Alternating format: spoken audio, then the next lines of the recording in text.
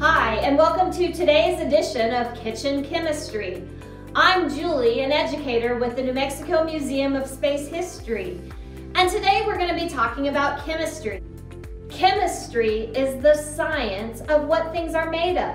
We call this matter. What is matter? Well, matter is any substance that has mass and takes up space. Well, this table is made of matter, and so are you. And so is this water. Today for our experiment, you're gonna need some school glue and some borax, which is a cleaning powder, and maybe some food coloring to make your slime look really great. The first step in making our slime is to make a saturated solution of the borax powder. Take a cup of hot water and add three teaspoons of borax powder to the water and stir it until it has dissolved. Not all of the powder will dissolve. The rest will just sink to the bottom and that's just fine. Next, pour your school glue into a bowl. The more glue you use, the more slime you will make. Now is the time to add the color to your slime.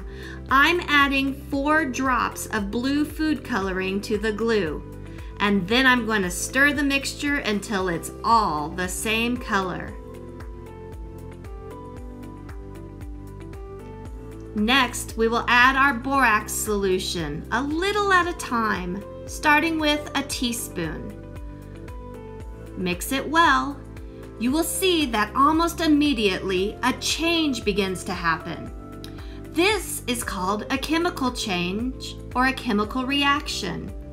A chemical reaction takes place when atoms of a substance are rearranged and the bonds between the atoms are broken or formed.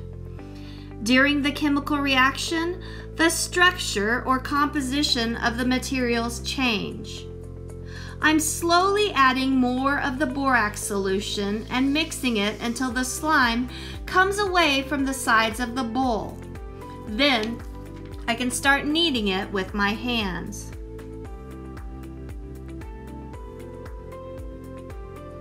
I should have worn gloves as the slime is very sticky to begin with.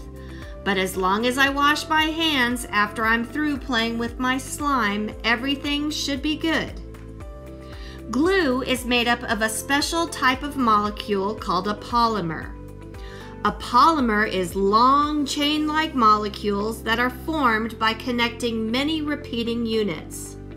I like to think of a polymer like a beaded necklace.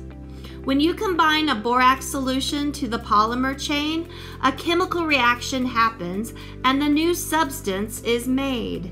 And what a fun new substance it is. Slime's been around for a long time. In 1955, the inventor, an engineer named James Wright, was looking for a new substance to make tires out of. It didn't quite work for tires, but we sure did get a fun toy that they named Silly Putty. Thanks for joining me today for this episode of Kitchen Chemistry. And be sure to check back often as we're always adding new projects and information. And remember, stay home, stay safe, and keep looking up.